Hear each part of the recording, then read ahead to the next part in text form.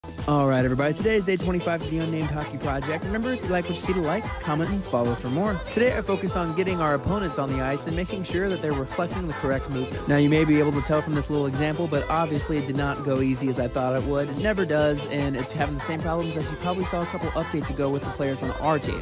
Luckily, after a while, I was able to fix it. I disabled the center, but as you can see when I start it back up, it gets very aggressive. It does a really good job just kind of emulating what a team should look like. Now, next update, they're going to be changing the way they move based on how close the puck is to their goal. So if you want to see that, make sure to like, comment, and follow for more.